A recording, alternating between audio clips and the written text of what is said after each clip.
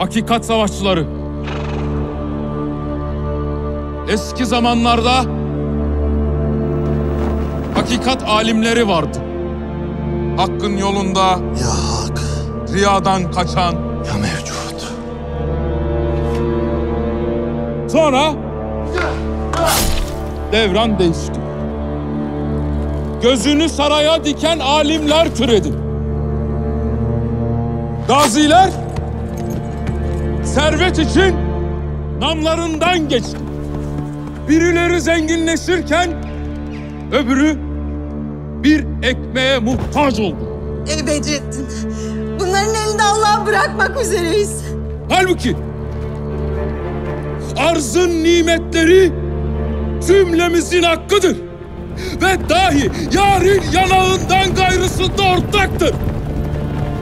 Sarayda, saltanatta, sipahi de hepsi ama hepsi, hepsi külliyen zulmün mahsulüdür.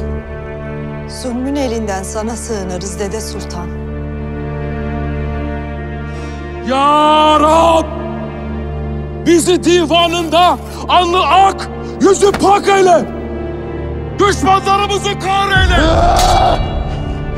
Davamızı adaletle kaim eyle.